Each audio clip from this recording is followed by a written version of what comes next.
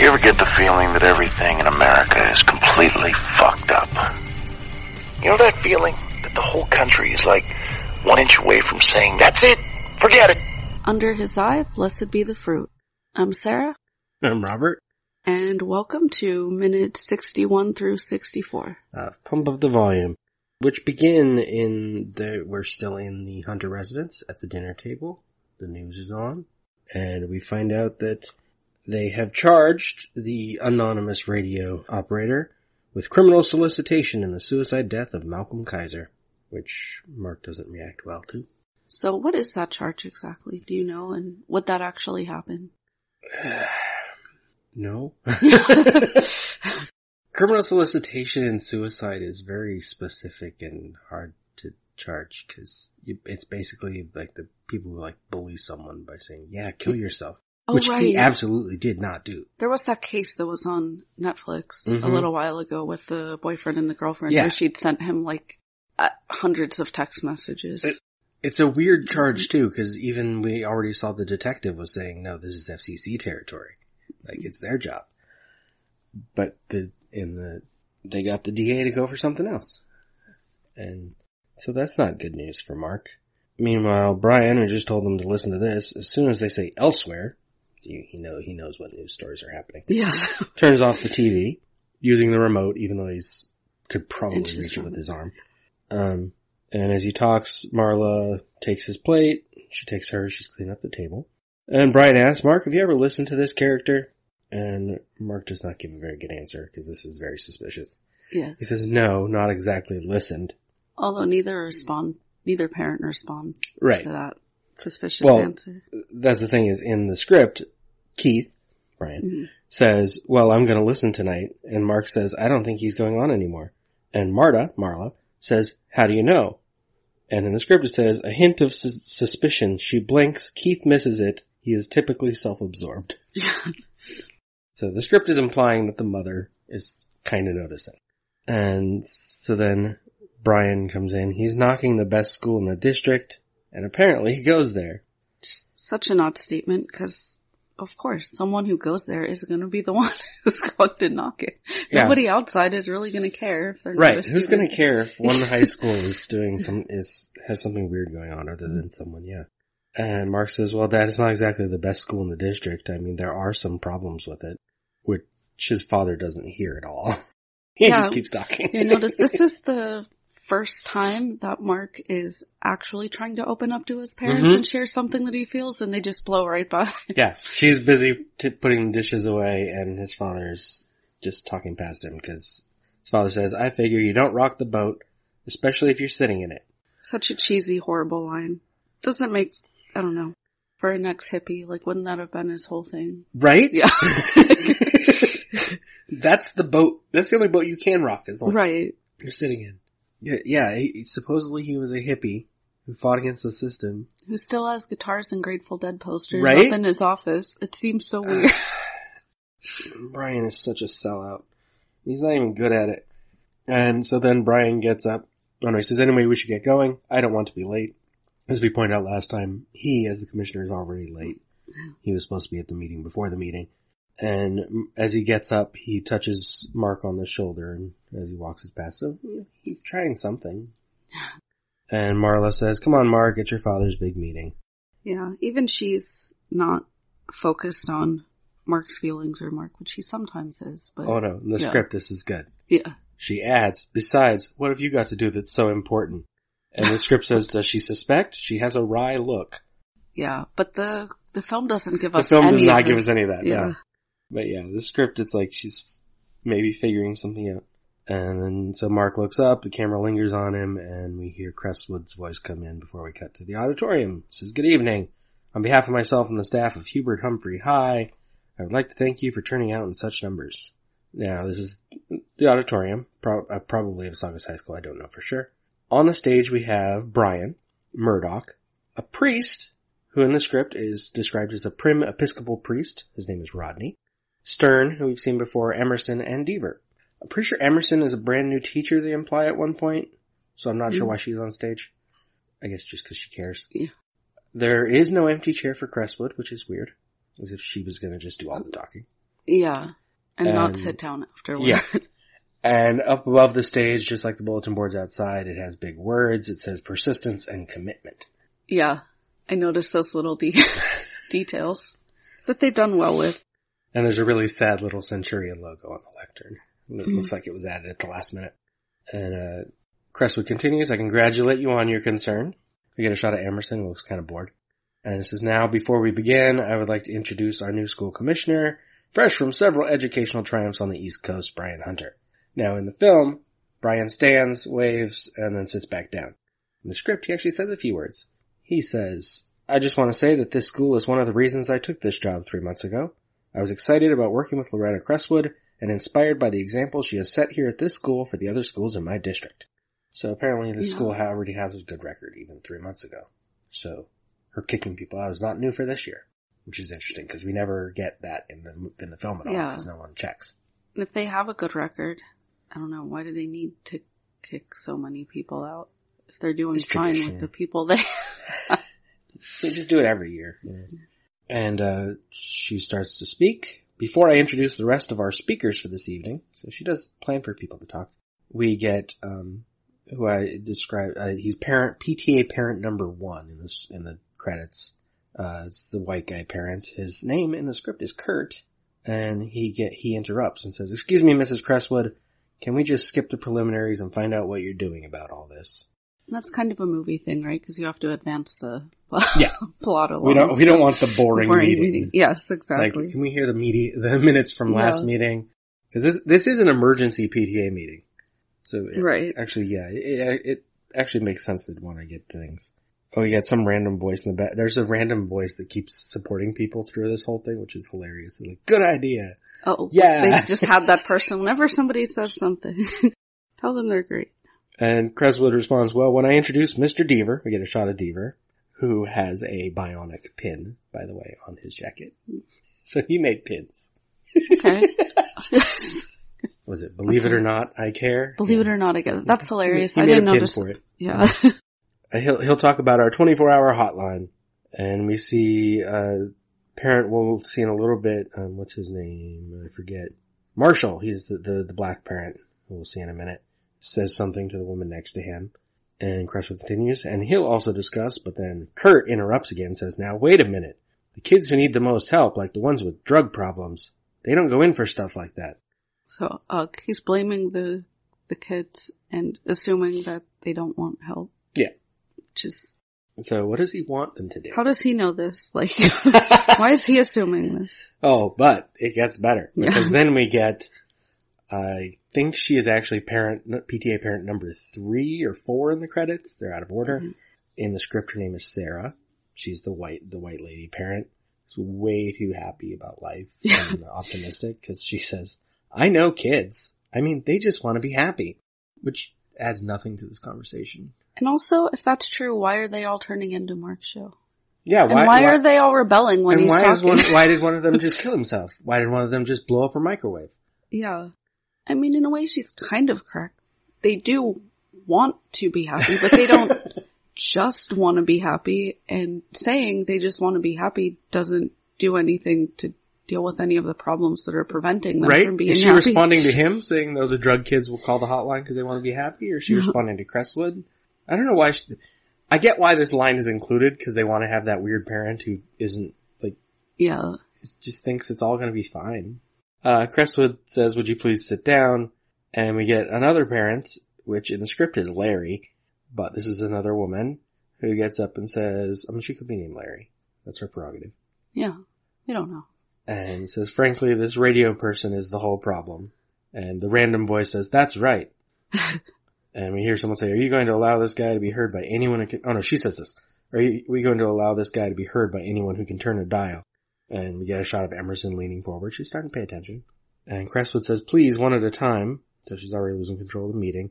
This is when we get Marshall, the black man, who in the script it is specified is an ex-cop. I'm not sure how they plan to get that across to us. Like describing a character Yeah. as an ex-cop when he has one line in the whole film, hard to convey. Does he have like an ex-cop pin? Yeah, I don't think he's wearing anything Now, if he were a cop, like maybe he was in uniform and he's at the meeting, that'd be interesting. But he says, look, I work with teenage gangs in the city and I say we go after this guy. And the script specifies that this is the previous white guy who says this in the background says, yeah, remove him physically. So basically they just want to hunt down this radio guy and arrest him, which, you know, is what they get. Spoilers. And they two black parents in the entire audience and decide that one of them is the one who worked with gangs and wants to remove someone physically. Mm-hmm. Yeah. And we have more problems. Just all of the. I just realized it's even weirder in Arizona in 1990 because the gangs in Arizona are probably Hispanic or like indigenous people more than black students, like black kids.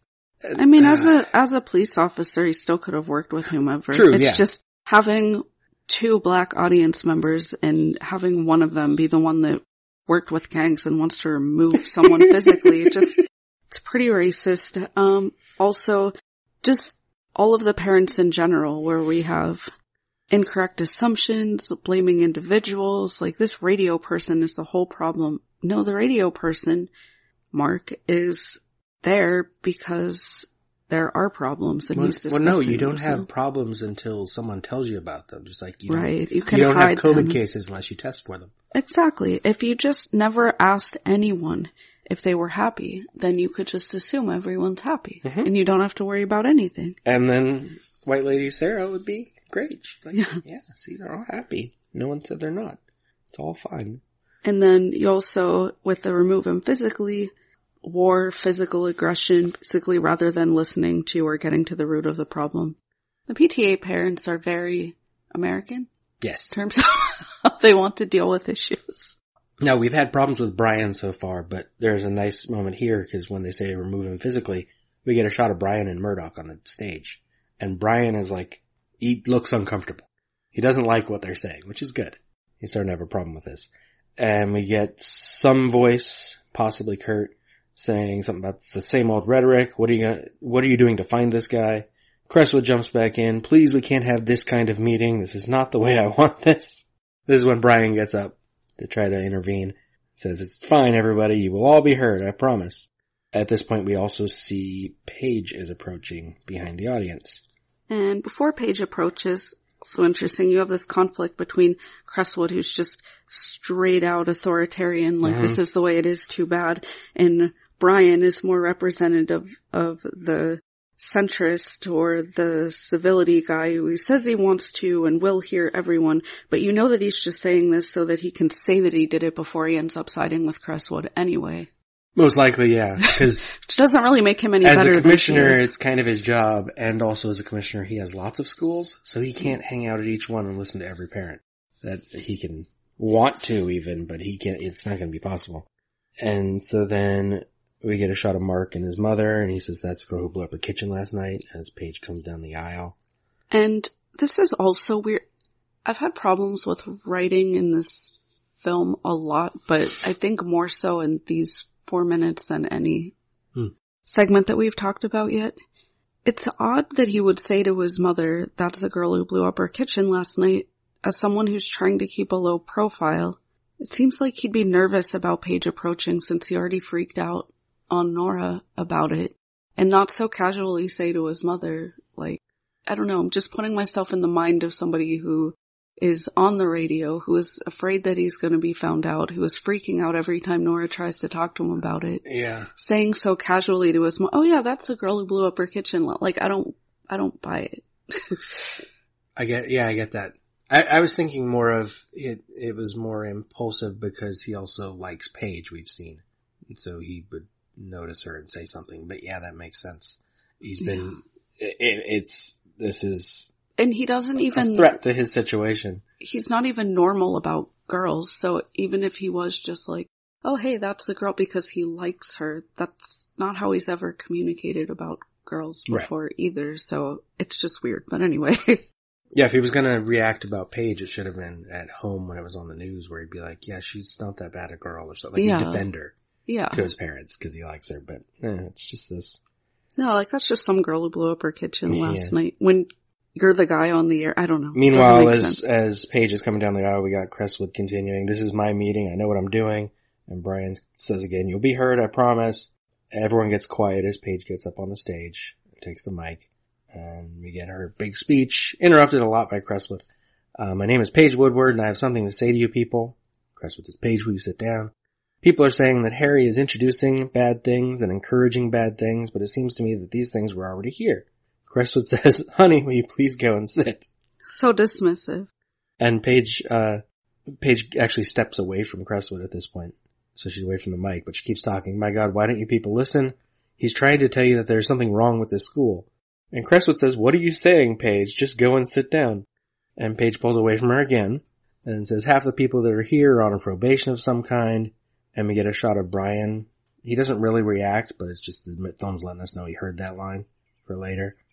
And Crestwood says Paige's name. This is where I noticed Deaver's bionic pink, so we get a close up Oh. on him. And Paige says, we're all really scared to be who we really are. We get a close up on her and she looks directly into the camera Mhm. as she says this line. I am not perfect. I've just been going through the motions of being perfect and inside I am screaming. And we get a reaction shot of Mark as Cresswood says, Paige, you were a model student. It- it gets, it gets worse. This writing. Because in the script, instead of you were a model student, Cresswood says, young lady, I cannot have him defended here, especially by you. Keith jumps in and says, let her speak. And Cresswood says, I will not. What we have here is a model student who's been influenced by an outsider. You're going to Yale. And Paige's response, I can't decide if it's stupid or awesome. Because she says, you know what? You can all go to Yale. I don't know. Uh, meanwhile, in the film, as Chris would have said, your model student Paige is, is, starts to walk out, back out the aisle because no one's listening. And we get a random voice, probably Kurt, saying, something's gotta be done. Look what they're doing to our kids. And Paige says one more time, why won't you listen? And keeps walking. Is this just like a very 1990s thing, like the fear of what heavy metal's doing to the kids Yep. and what this is doing to Uh-huh. the kids? And And another random voice says, let's hear what she has to say. And Crestwood even says, Paige, come back here. You know, because even though she doesn't want her there, she also doesn't want her to just walk out on her own terms. Deaver stands up, which is really weird, because in the film he doesn't do anything. I'm like, why did he just get up? Why do we get a shot of Deaver standing up? And I don't know what he thinks he can do. But Brian says, Paige, they want to hear what you have to say. And then Cresswell goes back to authoritarian and says, come back this instant. In the film, we cut to outside right. and we have um there's a newspaper reporter out there who is talking to some old white guy and his Letterman jacketed kid because you know that's who knows about this situation. Paige exits right in front of Shep, the reporter we've seen before, and he says, "Do you know who he is? Are you prepared to do anything that he says?" This whole sequence is so ridiculous. I I have such a hard time Uh. taking this dialogue sequence seriously. I just I don't, I, I don't know. Shep has a new younger cameraman for the night shoot. And in the script, we find out later he also has new equipment. So like they're Mm. investing in this story. Yeah. And we get Paige says, goes to a camera, not Shep's by the way, because his hand is off to the right. And she says, can you hear me? Don't listen to them. And that's when we get the newspaper reporter, whose name in the script is Georgetta, comes forward and says, are you on drugs? Yeah. you know, gotta get that. Part. Perfect question for this. Um, and Paige says, don't listen to any of them. Stay on. We get another reporter who is, uh, you know, TV. She's got a camera and microphone, and everything. And with the hard hitting question of, has this affected your schoolwork? It's so dumb. like? Uh, oh man. And Paige says, stand hard. And then that other reporter who in the script is called George. Allan Moyle has a naming problem with his Denny is Danny, Yeah. his Donnie, and his Dana and his Donna. And now his George and his Georgetta. Um, she says, what do your parents think about this? I- Uh, maybe she's like the school reporter. A school reporter? She's from like the school newspaper. I don't think so. Isn't So she she's like just not good at 40? No, this this one looks kind of blonde. The the newspaper reporter, the You one says, "Are you on drugs?" blonde and 40. What do you mean she looks good? Sorry, I'm trying to tell you which one she is. She's the blonde one. It looks kind of young. Sorry. she looks kind of blonde. no, she looks fairly young. The the newspaper one, it keeps saying, "Are you on drugs?" looks older, but I don't know. She's just not very good at her job. No. And then Paige growls at the camera, so that reporter backs up, which is good. And then the newspaper reporter says again, are you on drugs? now Shep and his cameraman have somehow gotten to the other side of the crowd of reporters instantly. And they're over on this side where Paige is leaving. And as Paige walks away, she says, talk hard. And she flips everyone off and growls again as Shep asks, are you under psychiatric care? Of course she's on drugs or crazy. Next to this question on him, I said, Shep has been hanging out with these slackers too much. he was doing okay with the first one. Like, do you know who he is? You know, get to the, get to the Yeah. information. Now it's, are you under psychiatric care? A, she doesn't have to tell you. yeah. B, how's that help? Yeah. Three, does she seem like, I don't know. Well, she, she could probably use some. We all could. Everyone in the Yeah. city of Paradise Hills, Arizona could use some. And we cut back to inside as Brian is saying, please everyone try to remember to talk. We don't hear the whole sentence because we get Mark and his mother as Mark says, I've got a lot of homework. I'm going to take off. All right. And Marla says, Mark, I know why you're really going home because you want to listen to that show tonight, don't you? Mark kind of laughs, but he just gets up and leaves. Now in the script, we get more of the meeting here. We actually see this shot of Mark leaving right after Paige leaves. And then we come back. And we get the parents are all gathering up at the stage and Crestwood says, this meeting cannot continue until all you people settle down, please. But we get bits of dialogue as each of the people on stage are talking to parents. Deaver tells someone, we do everything we can, but many children drop out for their own reasons. Murdoch says, right? Vague and Yeah, how Useless. And what is everything? They don't seem to be doing anything at all other than kicking people out. what do you mean? He's got a bionic pen. Yeah, and making pins. Murdoch tells someone, when we classify and transfer a student as learning disabled, it's for their own good. What? Rodney, the priest, tells people, indeed, these are difficult choices for the children of a society that in itself faces difficult choices. and then we get Gil, a parent, says, if your school's so damn good, how come you have so many drug problems? And Keith says, good question. And Jill, Emerson, says, every school has some problems. And Crestwood jumps in to say, the community has the problems. The school is clean. what? That's stupid on multiple levels. I kind of wish those bits were in there though, because it makes them all seem even more useless. Yeah. Uh, I guess as it is, they're a little more, like Crestwood and Murdoch especially, are a little more evil rather than just stupid. Uh, in the film we go out to the field, and Maz's car and Janie's car are parked like front to front. So Yeah. they're like the center of everything. One thing we've seen is this community outside has grown much larger Mhm. and they even have like big speakers that they didn't have before. You don't Yeah, a truck pulls up with speakers on the top playing music. speakers. The They have a keg set up. Yeah, and a lot of the students are outside their cars, which are Yeah. closer together hanging out, which in the beginning of the film you just saw a few people in their cars Mm-hmm. with the cars Yeah, just sitting there because spread further Uh, apart. it uh, they never say it in the film. I don't think. I can't remember. But Maz in the script specifies you get a really good signal here because I guess because the big open space. Um, and also yeah, with people mingling about later at the very end of the segment, Janie is leaning on Maz's car instead of her own, even though they're right next to each other, which is nice. Um, the big truck arrives with the speakers. Joey's in the back. We get Peter Murphy's "I've Got a Secret Miniature" camera playing, presumably on those speakers which is going to be, which is going to matter in a moment. But Yeah. you looked up this song, I looked up this song, and we couldn't figure out much about it specifically. no, it's right? from his second album, Love Hysteria, Yeah. which came out in 1988. The song and most of the album was written with Paul Statham.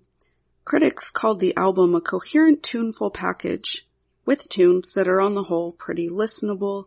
Overall, critics liked it, but it sold poorly, especially in the UK where he'd been more popular before. Mm. The, yeah, there wasn't much about this song at all. No, the lyrics And- are kind of weird. Yeah, another critic said that the lyrics were baffling, and that's like the only thing that I found is a brief mention about this song at all. It says, bread is good, bread is fine, bread is money, bread is mine, bread can fill an eager need, bread can buy a heart that breeds, and then you've got, I've got a secret miniature camera repeated as a line about 20 times. I, I don't know. if, if the movie were a few years later and it got like cut you up in there, that would have Yeah. made, that would have made more sense. yeah. like thematically. But that was on his next his his next album. Um, so we see Nora is leaning on a fence, smoking away from the crowd. Maz and Joey say hi. Uh, we get a wide shot of the crowd. And then we see Nora again. She check she checks her watch, and this is when Paige approaches from. All she had to do is walk around part of the school, so wasn't far away. Uh, Nora says "Yo, Paige," and then gives her two thumbs up. Paige does the same thing back and keeps running. Paige is in really good mood. She's having a good time. And this is where for me it got weird. Because not only did Paige come around the school, fine, she had time for that. It wasn't that far. Shep is over there, but he is by his news van as if he just got out of it. He was literally on the other side of the school. He could have walked there. And in the shot a second ago, his news van wasn't in the shot that should have been. He's parked over near the Jeep, which we could see. But he's getting out of his news van as then it gets weirder because Maz comes walking by, returning to the crowd, zipping up his fly like he just went off to pee. When we just saw him shaking hands with Joey in the middle of the crowd. So in a matter of 20 seconds, a news van and a news truck showed up. The truck with the speakers has turned around and Maz went to pee and came back. and it is 20 seconds because the music was playing from the speakers. So time exists. But Shep is getting ready, says 30 seconds. He gestures to his cameraman, who he was just working with at the other side of the school a minute ago. Says, okay, come on, let's go. And we get Maz joining the crowd again. He gives someone a thumbs up, possibly Shep. It's hard to tell because the camera's moving. And that's kind of the end of this segment. We could see that uh, Jamie is serving alcohol from the keg and Janie is leaning on Maz's car. And other people are hanging about. I don't know. Overall, any takeaways from this turn of events? It's it's just it's a little more. It, the segment's good for the movie, I guess, because it shows that all of the adults are useless, and even when the teenagers try to express themselves, it, no one's listening anyway. Whether or not Paige's speech was good, it didn't seem like anyone listened to her, so it doesn't matter. Yeah. And I hope in that moment where they even ever look at the camera that maybe some teenagers watching the movie or heard it or something. That was good. I don't remember that part from when I first saw it.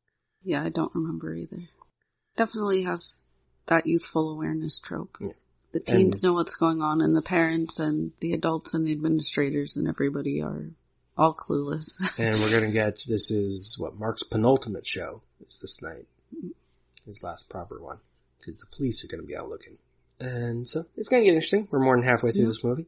And if you want to listen to more music and social commentary, you can listen to my other show, Life as a Playlist, and follow Life as a Playlist on Facebook, Twitter, and Instagram.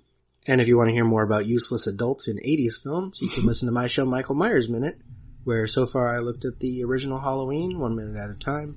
Speak out! They can't stop you! Find your voice and use it! Keep this thing going! Pick a name, go on the air. Your life. Take charge of it. Do it! Try it! Try anything! Spill your guts out! Say shit and fuck a million times if you want to, but you decide! Just fill the air, steal it! Keep the air alive!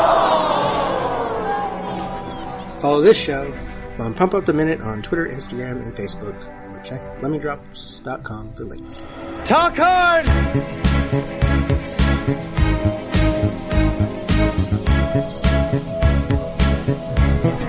Everybody knows.